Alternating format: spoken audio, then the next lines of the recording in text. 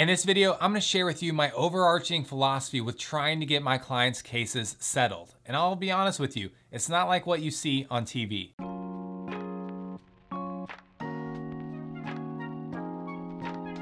Welcome to Law Venture. My name is Jarrett Stone. I'm the owner of Stone Firm PLLC, and I literally just recorded a video before this video. Like, I'm wearing the same thing just recorded. In particular, a law school professor reached out to me after seeing one of my Instagram posts with a little bit of a story on how I was able to get a quick six figure settlement for my client. And she wants kind of like the overarching philosophy and strategy that I implement in my negotiation process. And so I recorded the video so she could show her students. And I figure, why not just share it with y'all as well? And so before I air this little video for you to see as well, be sure to hit the like button, be sure to subscribe to see future content, and be sure to leave any comments if you have any comments, thoughts, or concerns down below. With all that being said, I hope you enjoy the video. The quick background for me is that I graduated, I passed the bar, I worked at a small law firm, two lawyers. I was immediately the number two lawyer or the um, bottom rung lawyer, however you want to look at it. Um, ended up getting great experience and then taking that experience and ultimately going solo, starting Stone Firm PLLC. And then I've now been solo for, ooh, time's been flying by. I want to say like a year and a half, maybe more. Um, so clients have been coming in been you know reaching resolutions and, and settlements for the client uh, or clients plural clients. There hasn't just been one client. And then during that process ended up reaching a six figure settlement for one particular client. I thought that was an interesting story. So i went i went to the old ig instagram and posted the story um, i say story i posted a post with the story in the caption. If you're on instagram you know exactly what i just said. If you're not on instagram that's just right over you. So Professor Gossett ended up seeing the Instagram post and the caption, thought the story overall was interesting, reached out to me via DM to be able to kind of present to you what my negotiation philosophy, strategy, and actual taking that you know abstract and putting it down to the concrete story um, experience was. And so that's what I'm here to do. I wanna start with the moral of the story, which is probably a little bit backwards, but I feel like if I go through the story itself, then there's gonna be this huge buildup for a very basic uh, moral of the story, a, a, very basic message that you're gonna be like, really? That, that's what we were building up for? But I can't stress to you the importance of what I'm about to say. Moral of the story, whenever you're practicing law, be kind. It is so much easier said than done. I promise you, and we'll go through examples. But the here's kind of like my, my big foundation that I'm about to lay to the lead up to this story. My philosophy in general is that a negotiation and any type of settlement, any type of case that you have is supposed to be adversarial on paper. At the end of the day, every single case is basically a problem that needs to be solved. And fortunately, you kind of have two sides that can work on that problem. And the way I view it is that whenever you're trying to settle a case, there are two solutions. Solution number one, other side agrees to settling based on you know terms that work for everyone. Solution number two, if that doesn't work, the jury's gonna get it solved for you, or, or maybe the judge, depending on the situation. The point is, whenever you start looking at this problem solving process as like, look, either the person on the other side is going to provide the solution or the jury's gonna provide the solution, either way, we're gonna get to the solution that process really makes it a whole lot easier to where it allows you to kind of ease up a little bit and makes things just really, really more natural instead of like, hey, I'm gonna beat you over the head with all these amazing facts from my client, and I need you to agree that all my client's facts are amazing. Never gonna happen. And so, the story that we're talking about today involves the fact that I signed up a client, it was a slip and fall case. She had pretty significant injuries from the slip and fall case. But I also know that in the state of Texas, slip and fall plaintiffs are kind of they have their backs against the wall um, based on how Texas law breaks out. It's really favorable to the defense. In most situations, that whenever you have a slip and fall case, there's typically going to need a, a, a lawsuit's going to need to be filed.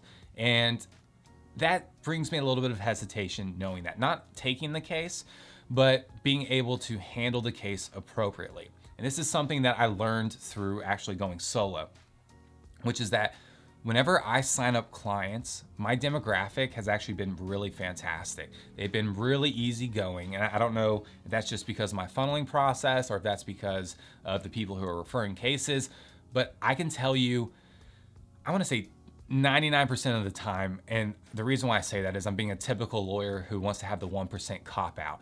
99% of the time, clients, whenever they are potential clients at this phase, whenever I'm on the phone talking about their case, trying to get them, you know, to sign up basically, they explain to me that they don't want to have to go to a jury trial. They don't they don't want to have to go through the litigation process. That's going to be way too much of an inconvenience. That's going to really burden them and their lives. They just want the lawyer to take care of it kind of behind the scenes pre-litigation so everything's resolved, puts a bow on it and they can walk away. And I think we have an ethical and legal obligation to try and settle a case before a lawsuit is filed. And here's why. Because not only do people want to avoid the expenses and delays, but you kind of, as the lawyer, benefit from that, at least, at least in my situation. And so from a plaintiff standpoint, in my situation, I charge for attorney's fees the routine one third of the overall settlement. If I end up filing suit, then my attorney's fees go up to the routine 40% because at that point I'm having to pull out more of the, the big guns, the legal guns. Um, and there's also going to be expenses that are going into litigation. Even if I file suit and then immediately settle a case, what's going to end up happening is the client's expenses are going to go up at least 500 or $700 because filing suit costs money, getting the person served costs money. And so that's 700 bucks that the client may have wanted. That's also, I don't know, seven-ish percent of, of attorney's fees that the client also probably wanted. I'll go ahead and tell you that a lot of law firms, like big law firms, are pretty trigger happy with filing suit, but that's just a little bit of a disclaimer. So in my situation, I'm talking to this client. She says, look, I don't really want to file suit. And I said, look, it is my goal to try and have a productive conversation with the adjuster, ultimately, hopefully get it settled without filing suit but you have a slip and fall case. And I explained, I will do anything and everything I can to try and get this case settled at a good value for you that you're gonna be happy with pre-suit. But at this point, all you need to do is go treat, go get better. We'll handle the negotiations once you're done treating. During that time, I reach out to the insurance adjuster to introduce myself. She introduced herself and I was very upfront with her. I said, look, client has some pre-existing injuries. Um, we're going to have to get that, you know, resolved. I'm sure you're going to see that in the medical records. Um, but client also suffered this, this, and that from the slip and fall, and as a result, had to do X, Y, and Z, and is also being treated as well. Um, and I was, I was upfront. I was also, I'm sure I was cracking corny jokes at some point during it that she probably, you know, I don't know, laughed in pity at me. But uh, I immediately, whenever I called her, I got the sense of like, hey, there's tension here. And so I need to diffuse the tension by being kind, by being personable, and was able to do that. And on that first phone call with her, she was very upfront with me. She said, which law firm do you work at? And I told her, and I was like, this is my law firm, Stone Firm PLC. She goes, oh, okay. If you worked at this law firm, this law firm, or this law firm, she went down an entire list off the top of her head. She goes, I'm gonna be honest with you. I've had terrible experiences with them and their lawyers. I would just say, hey, we're not gonna get this settled. Go ahead and file suit. Let's just move forward with it. But she said, I really appreciate you being upfront about the pre-existing and you know having this you know open conversation with me. So let's see what we can do. Let's see you know exactly how things are gonna progress. I said, perfect. I appreciate it. Um, in doing so, she said, hey, can you maybe give me like a ballpark number of what you think this case may end up settling at? And in doing so, keep in mind that I would prefer to get this case settled before the end of the year. And this was all happening, I think, maybe around October time. And she said the reason for that is, you know, taxes and we have to allocate money, yada, yada, yada. I said, okay, sure. And so in that moment, I recognized, okay, she has a problem that goes beyond this case. Maybe I can solve this problem for her um, in a way that allows the case to have an extra premium, extra value to the case. And that way we're, again, problem solvers and trying to reach a resolution. The problem that we had on our end was you never really want to settle a case without the client being, you know, basically completely healed up or they're at a new baseline. Because the last thing you want to do is settle a case prematurely. Turns out there's like a setback or there's an issue that pops up that they weren't aware of. Um, and that requires more treatments and more treatments mean more medical bills and more medical bills means they need more money. And so if you're already you know, if you've already settled the case, signed the release, then the other insurance, the other side, the other insurance company, they're gonna wipe their hands clean, say, look, there's no more money. You only get one bite at the apple. So that's a wrinkle in the equation from my end and a problem that we're gonna have to address with the other side. So the following week ended up kind of getting a, a sense a little bit of what the what value would basically be enough for my client to kind of walk away prematurely. And that meant that there was going to need to be a premium added to it. I explained that to the adjuster. The adjuster said, okay, that's fair. So let's kind of ballpark and shoot from the hip on these medical bills and what we think the treatment's going to be. Ended up getting some um, reports from other doctors saying, here's kind of what the future plan would be for this particular patient, my client. Sent that all to the adjuster and had this like, okay, let's, here's our problem. Let's, it's presented. Let's figure out the solution. Let's figure out the monetary value. And so this was like a weekly check-in process of us going back and forth, trying to get certain documents and updating one another on where we could go. And during this entire time, I wasn't all business. And you know, if you're a billable lawyer, and I'm not a billable lawyer, if you're a billable lawyer, then this is gonna be like nails on a chalkboard to you. But whenever I would call this adjuster up, I would also try and be personable. I would try and be kind and I would try and like incorporate information that I learned about her from previous phone calls to where it's like, hey, you know, I I remember you. You're not just some, you know, name or person I'm trying to check off when it comes to my phone call list today. And in doing so, she definitely appreciated it. I specifically remember the fact that in her neighborhood, I, I think a kid went missing for like 48 hours. And when she you know, was on the phone with me. She's like, sorry, I haven't been able to really look at anything. Uh, this, you know, neighborhood kid went missing for 48 hours. So we were, we were looking for the kid. I go, hey, look, you don't have to like look at this case for as long as you don't need to look at this case, basically, within reason, obviously. But um, come back to me when you know everything's together and you're caught up. Um, no rush. You know, sorry about the situation. Um, let me know if I can be of any assistance or anything like that. And she really appreciated that. It wasn't me like, no, we got to do this. No, you didn't do that. You told me last week you're going to do X, Y, and Z. I need this now. It wasn't like that. I was being an actual kind human. And again, she appreciated that. And then that ended up actually leading to her reaching out and saying, hey, before you go, like, I have this other case, and this case is crazy. This case is like worth many, many millions. And can you kind of give me your perspective from the plaintiff side, the strengths and weaknesses, so I can better evaluate maybe this this one particular case? And I was like, sure, okay. And then that led to another case and led to another case. And the sense I got was the case, even though it's settled for eventually six figures, it's kind of like the baby case in the situation compared to these other cases that she had. And so I knew that she probably wanted this one to, you know, kind of go away and go away within this little time frame she wanted. And so that's more information that I'm kind of collecting, you know, passively through this process and realizing, okay, she hasn't specifically told me this, but this is another subtle problem that she's having and a quick resolution with a premium is going to be that solution to the problem. Long story short, we end up getting the case settled for a premium to where my client was extremely happy. I walked through the pros and cons of prematurely settling with the client. She saw the premium was like, yeah, we gotta pull the trigger um, on this one. So we pulled the trigger, client was ecstatic. We were able to get this good settlement within a very short amount of time. And keep in mind, I was trying to be a kind human. I was not trying to manipulate the situation by any means. I was actually very genuine in everything um, that I said and how I interacted with the adjuster.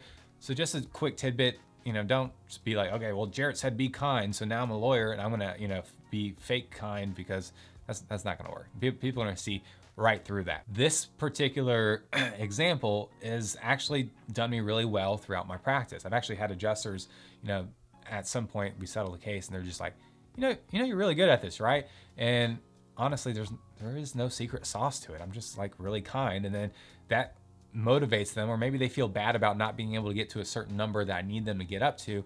And a lot of adjusters end up saying, well, let me let me go talk to my manager and see if I can get a little bit more money put on the case. Literally just happened two days ago. It's a weekend right now. So yeah, two or three days ago to where it's like, look, I'm gonna need a couple, you know, more I say like $3,000 more.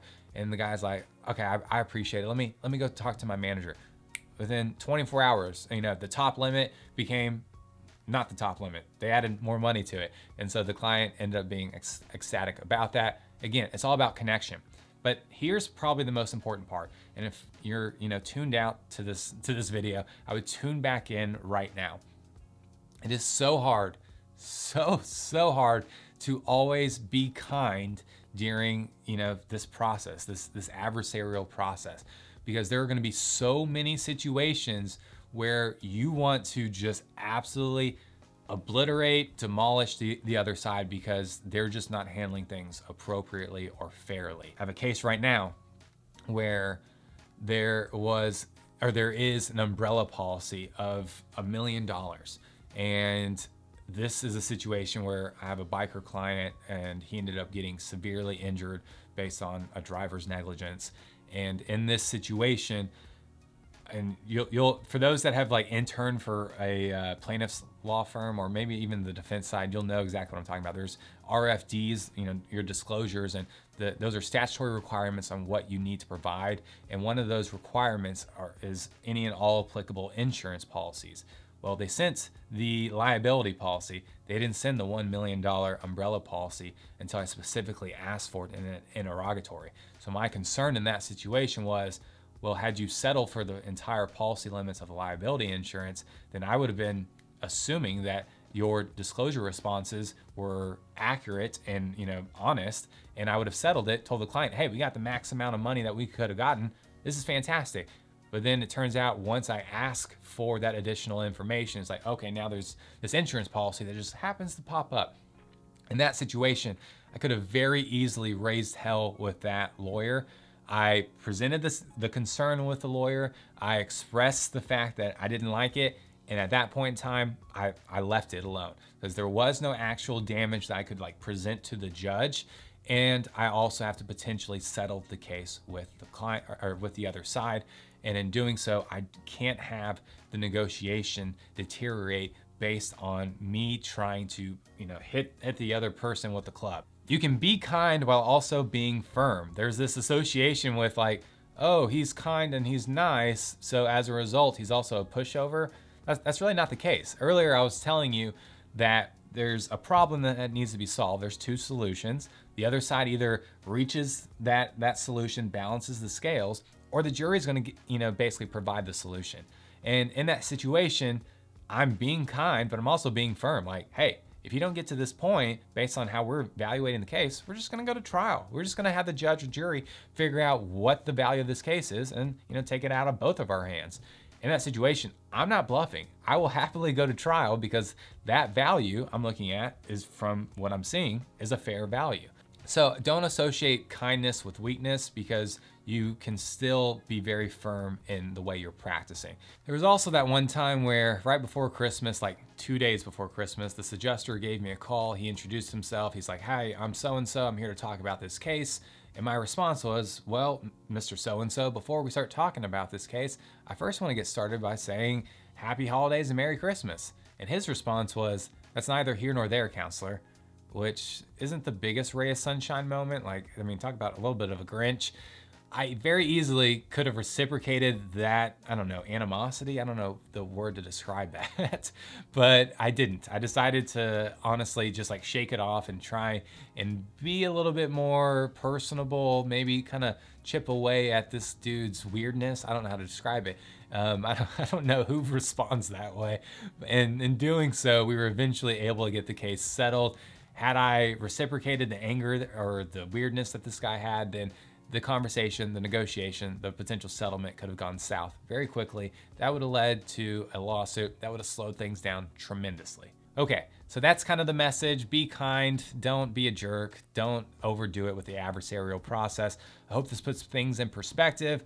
I don't wanna just like peace out on you without giving you the option to reach out to me because we don't have the option to do Q&A right now. So I'll put my contact information at the bottom of this video right here. That way you can reach out if you do have additional questions, you have concerns, thoughts, or if you just wanna say hi.